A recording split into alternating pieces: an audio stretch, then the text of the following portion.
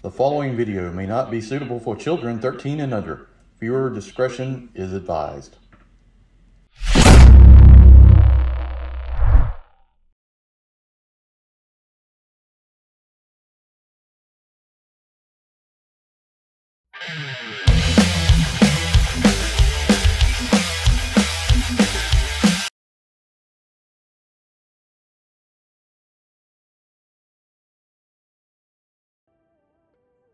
Hey everyone, welcome to the channel. Enewtabie here, and today we're going to take a look at the final of the original three Dreadnoks Torch. Excited to take a look at this. I like the Dreadnoks. Uh, I think they have done overall a pretty good job on uh, releasing the group as, you know, got Ripper Buzzer, um, Zartan, Zarana, I'm going to count the whole group, uh, Gnawgahyde. So they've done a pretty good job of making out the line. This one is interesting, comes with some cool fire effects. There's also something else, and I'll point it out here in a minute after we unbox it, that this probably makes this the superior Dreadnok um, out of the, the original three, and just for this one reason alone. Before we get started too far, if you're watching this, I really, really would appreciate it if you think about subscribing to the channel, like, share this video, and uh, do me a favor, think about becoming a member. That really would help the channel. Okay, the new minimal packaging, going over this, this is smaller. Uh, I don't really like it, but you know, it is what it is. Got the artwork here on the side. This is number 123. Got right here in the back. We got him uh, with his flamethrower in the Dreadnok's hideout. Got the grape soda going on there. Got the speaker and the motorcycle you know, at some point, I feel like they're going to do some sort of mo motorcycle set or something with these guys. Seems like that's an easy thing to do uh, like that. And we've got the barcode and all the little stats that nobody cares about in there. So that's uh that's pretty much it.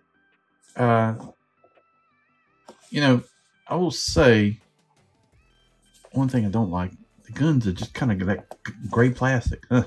well, we'll see. We'll see how it looks. Anyway, that's 123. Man, I really don't like the box. I don't I don't like this. I don't know. I get it. I guess they're trying to shrink packaging and save money or whatever. PET, plastic here or whatever.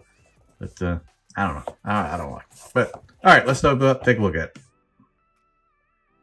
All right, first of all, this this tray crap has got to stop, man. I I mean, it takes forever to get the crap out of the damn trays, and I felt like I was gonna like bend this in half trying to get it out. How did how the hell did they get them in there? I wish I knew.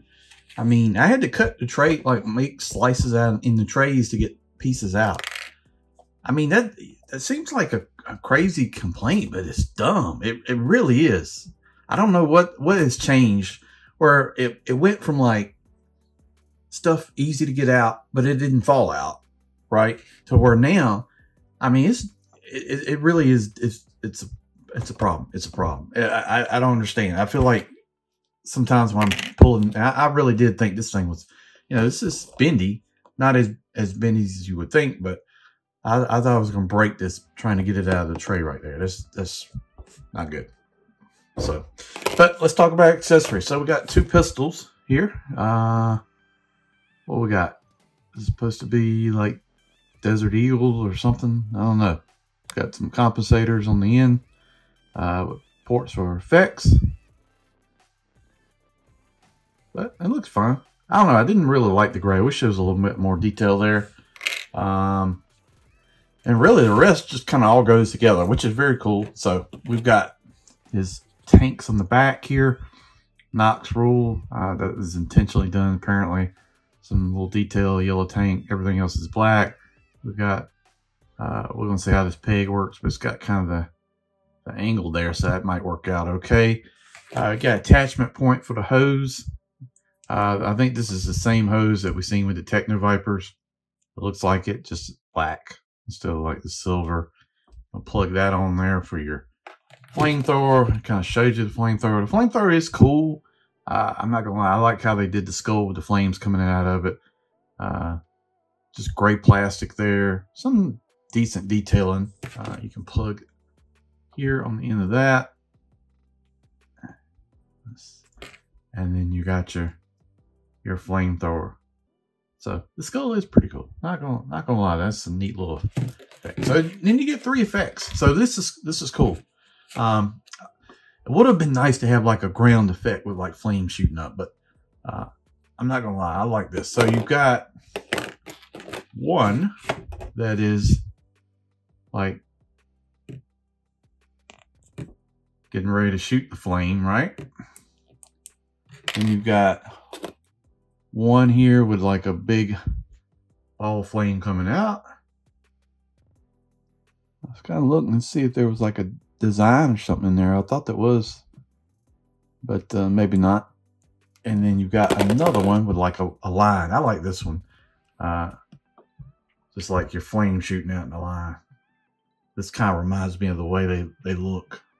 Uh, so the old ones were like, what is it? Uh, napalm is like uh, the liquid jelly stuff and then the fire inside it so it sticks to it the two chemicals react. I, I don't know. But anyway, this is pretty neat. I like that. So let's let's bring in the figure and I want to show you why I think this is uh, the figure looks cool.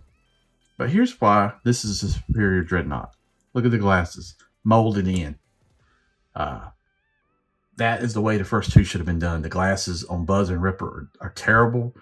Uh, the first one, I get the two names mixed up, but the one with the chainsaw, that's Buzzer, right? Yeah, I think.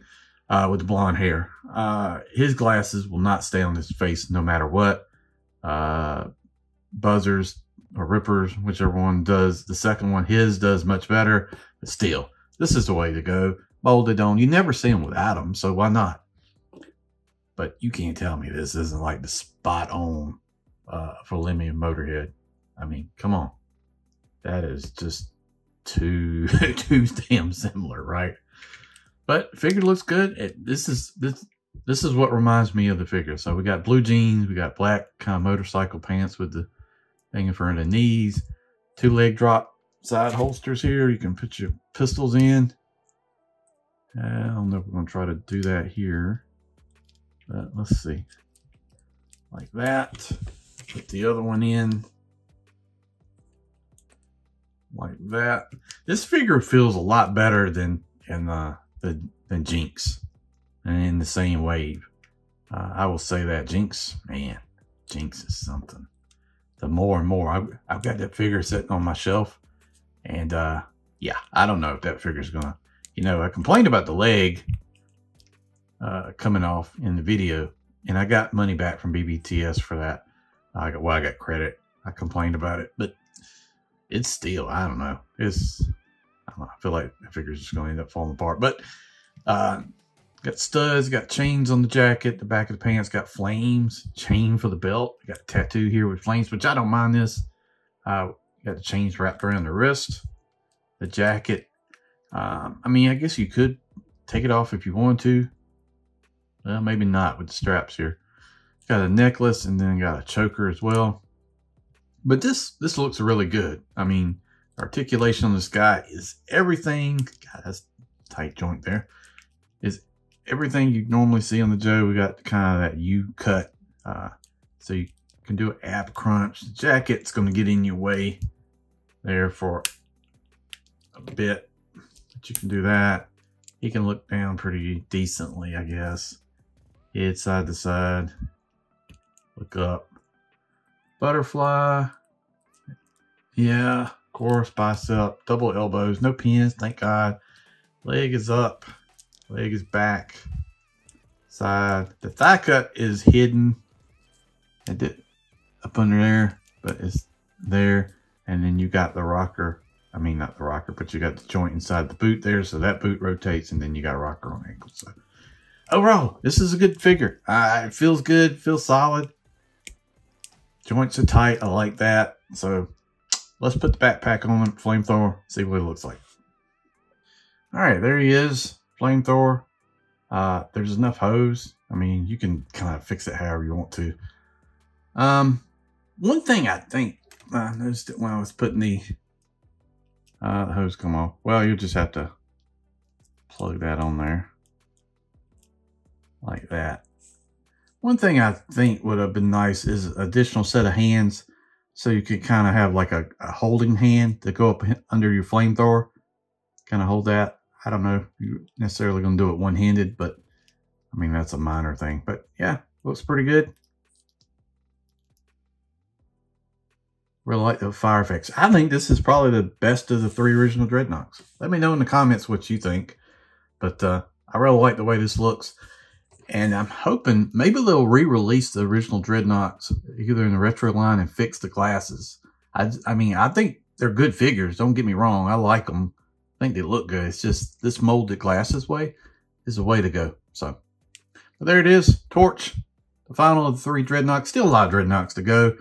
Uh, you know, at some point, I hope we'll get the Thunder Machine and Thrasher. Got to get Monkey Wrench, and there's, you know, was it Road Pig? He's a Dreadnok, right? And there's there's more, but yeah, this is a pretty cool figure. Thanks for watching the video. I do appreciate it. Uh, if you'll do me a favor and think about checking out the channel, trying to get to 5,000 for the end of the year. We're knocking on 3,500. I know it's a long way to go, but everybody subscribes. It really helps out and goes a long way. So thank you for watching. See you down the road.